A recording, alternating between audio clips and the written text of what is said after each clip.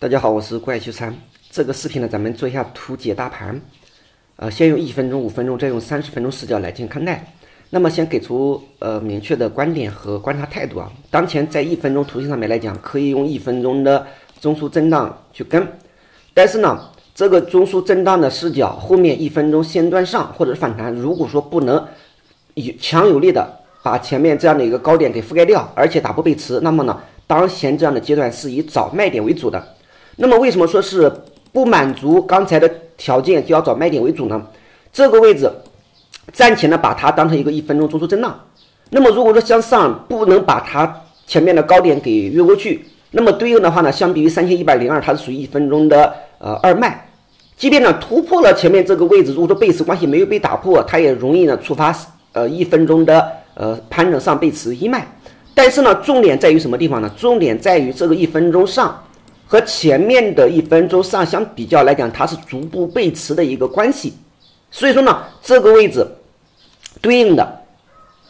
以找卖点为主，这个卖点的性质的话呢，是一分钟和五分钟卖点的公正。那么什么情况你才有可能去高看一线，或者是保持乐观呢？这个位置作为一分钟中枢震荡之后，然后呢强有力的向上把它的一首先先把一分钟的背驰给打破。一分钟的背驰打破的话呢，你甚至可以期待一个一分钟的三类买点的可能。但是这种情况呢，一力度要跟上，第二呢量能要跟上。如果说呢力度也没有，量能也没有，那么当前这个状态呢，可以暂且当成五分钟的盘整上背驰一脉和一分钟的嗯一分钟的卖点的一个共振来进行应对。这是从指数的一个视角，这是从一分钟，因为它的一个比较呢非常之清晰。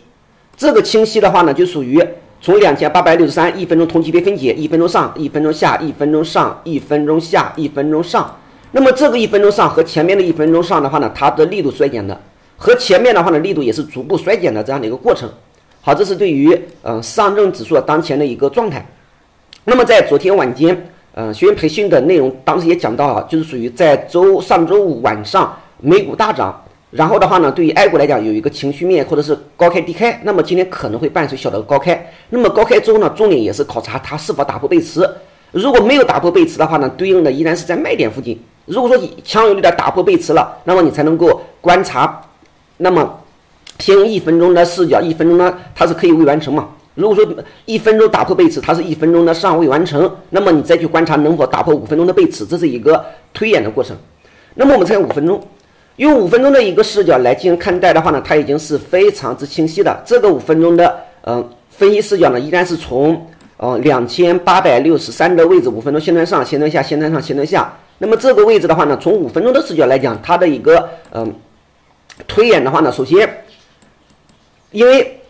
它是逐次背驰，可以把它作为一个五分钟盘整上呈现背驰的节点。那么呈现背驰节点过之后，后面的一个推演的话呢，无外乎两种，哪两种呢？一种是继续五分钟的中枢震荡，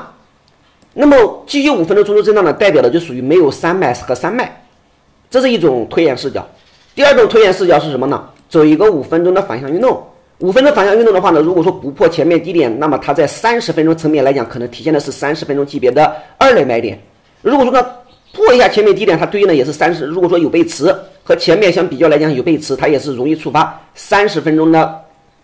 背驰一类买点，但是这里面的话呢，我们怎么去看细节呢？细节的话呢，那么对应的在一分钟层面来讲的话呢，我们就以把一分钟的中枢下沿三千零六十四当成一个嗯关键位，因为这个位置的话呢，如果说一旦破了，而且的话呢，这个位置向上不能突破前面高点，那么找卖点；如果说呢向下破了前面这个一分钟中枢下沿的话呢，一旦把这个中枢给跌破，那么对应的这是属于超短的一个强弱分界。那么，如果说用五分钟的一个视角的话呢，同样呢，可以把前面的三千零三十二点作为一个嗯强弱分界来去看待。这个强弱分界呢，就属于前面的五分钟的中枢嗯下沿，因为这个位置呢，只要说始终不破，那么它还是可以去观察，或者是可以去以五分钟中枢震荡的视角来去跟。但是呢，如果说快强有力的，就是快速的跌破前面这样的低点，内部呢也没有这样的背驰结构，那么呢，它增加的是。反向运动的这样的一个可能性，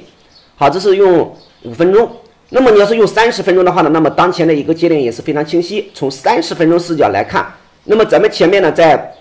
三千二百九，也就是三千三百点一带，对它的一个研判呢是认为它是在三十分钟级别三类卖点的一个风险上，而后呢一个三十分钟线段下回落的话呢，这个回落内部实际上并没有这样的一个清晰的背驰，但是呢回落过之后这个位置呢，当前像今天的高开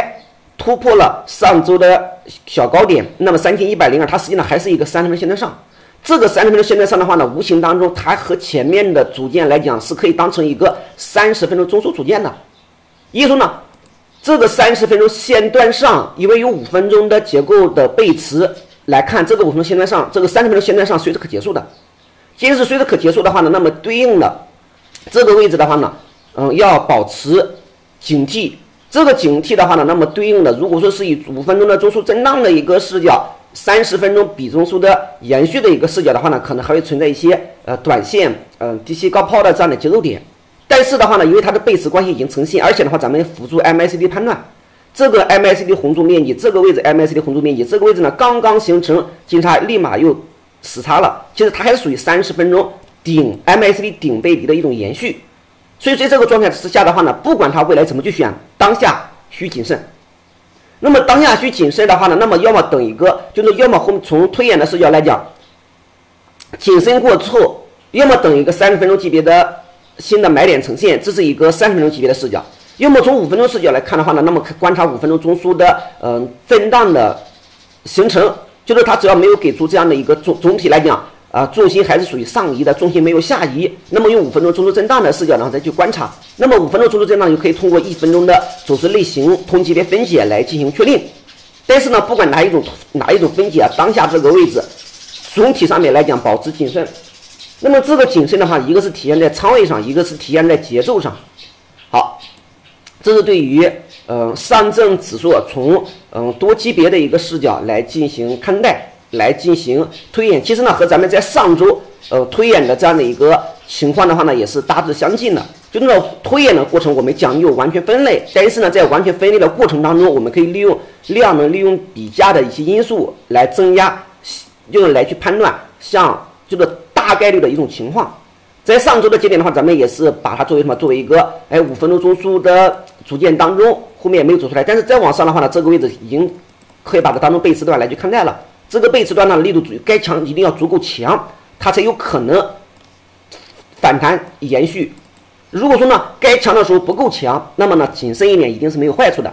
而且呢，从日开的一个视角下到咱们前面讲的三千一百五、三千二百点，它是一个压力区域。这个压力区域呢，也只是一个呃参照参考。但是呢，如果在压力区域附近，它的力度呈现衰竭的。那么从量能来看，如果说前面上周四、上周五是属于缩量的一种表达，那么上方的距离压力的节点也比较临近，这个位置谨慎一点，一定是没有坏处的。好，这是咱们今天嗯图解大盘的一个内容，呃，仅供参考，啊，不作为交易依据。好，喜欢的朋友呢就点击关注，欢迎记得留言点赞。好，再见。